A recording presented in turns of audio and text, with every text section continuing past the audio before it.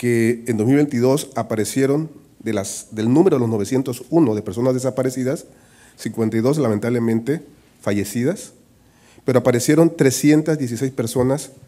con vida y continúan 533 con el estatus de no localizado. Es importante mencionarlo porque se ha difundido por algunos medios, por algunos columnistas, un análisis que con estos datos no puede ser admitido como válido,